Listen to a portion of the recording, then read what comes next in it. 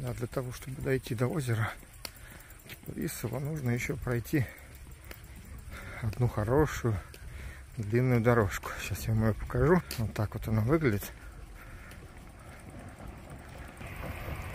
И по ней идем, идем, идем, идем, идем. Ну, либо можно вот взять на прокат за 50 рублей с человека, вас довезут с ветерком на транспорте. Но мы не ищем легких путей, идем пешком.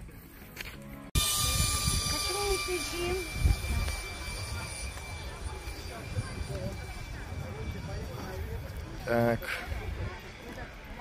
Озеро у нас чуть-чуть подобелело.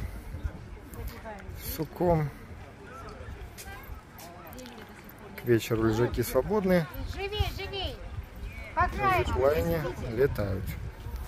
Но уже почти не над водой.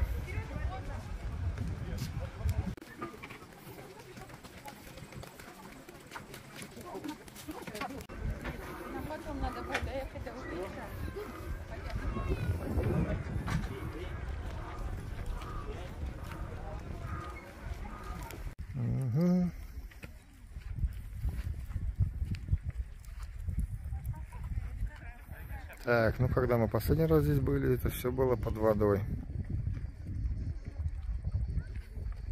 Пенечки. И вот они у нас кипарисы. 32.